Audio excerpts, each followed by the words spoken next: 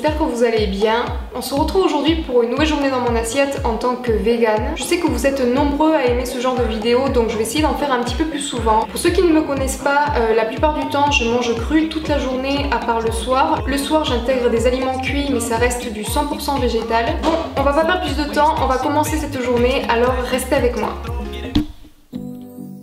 Mes journées commencent tous les matins vers 6h ou 6h30, l'heure à laquelle je me réveille.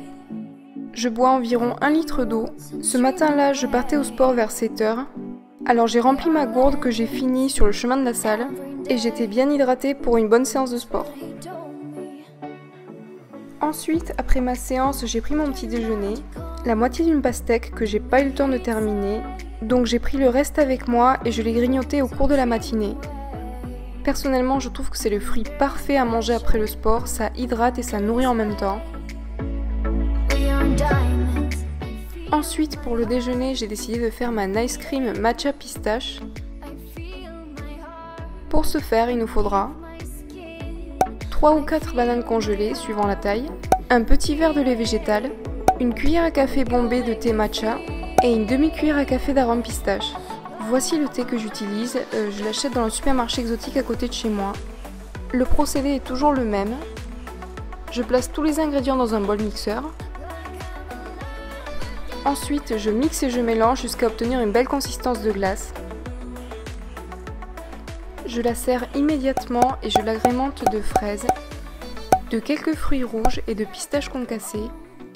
Je sais que le mélange peut paraître bizarre, mais je vous promets, c'est délicieux. C'est hyper frais, ça cale et ça reste léger en même temps.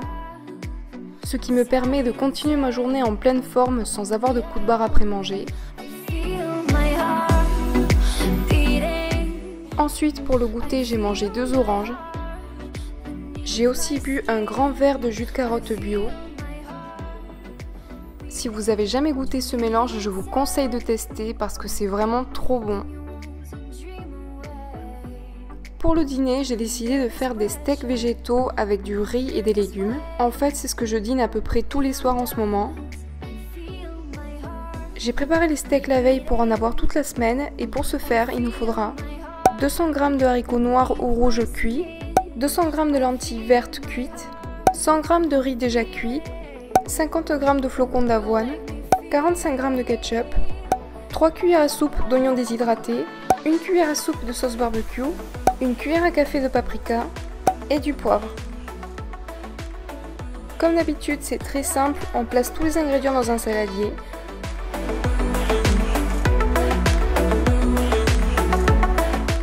On mélange bien. Ensuite, on écrase à l'aide d'un écrase pomme de terre jusqu'à obtenir un mélange qui nous permette de former des steaks.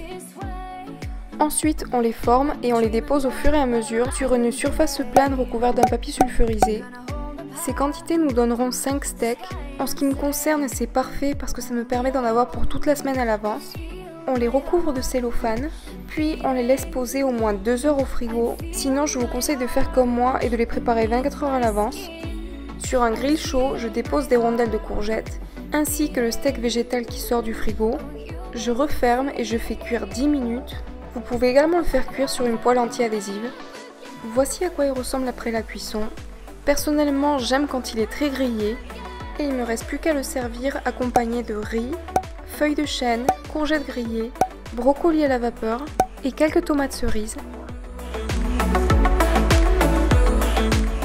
Je pense que vous me connaissez, il ne peut jamais manquer de la sauce sriracha.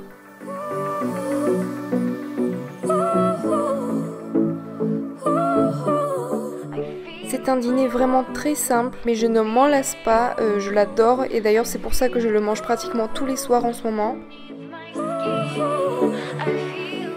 En général, le soir, je ne mange pas de dessert, mais dernièrement, j'avais très envie d'un dessert que je mangeais quand j'étais petite au Mexique. On appelle ça une Carlota, bien entendu, je l'ai véganisé et je suis très contente du résultat. Comme pour les steaks, je les ai préparés la veille et les ingrédients sont les suivants. Soja sun, fruits mixés au citron, il faut compter un pot par verrine, des petits natures, spéculoos et un peu de jus de citron. On commence par verser une petite cuillère de soja sun au fond d'une verrine. On enchaîne par un morceau de biscuit, quelques gouttes de jus de citron et on enchaîne les couches en changeant de biscuit à chaque fois jusqu'à ce que le pot de dessert au citron soit terminé.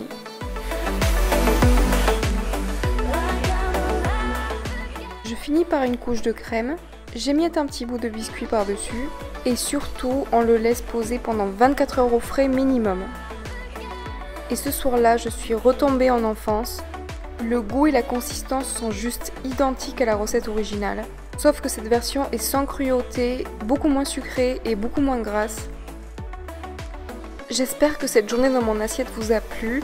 Encore une fois, je vous remercie d'être resté avec moi jusqu'au bout et je vous dis à la prochaine. Bye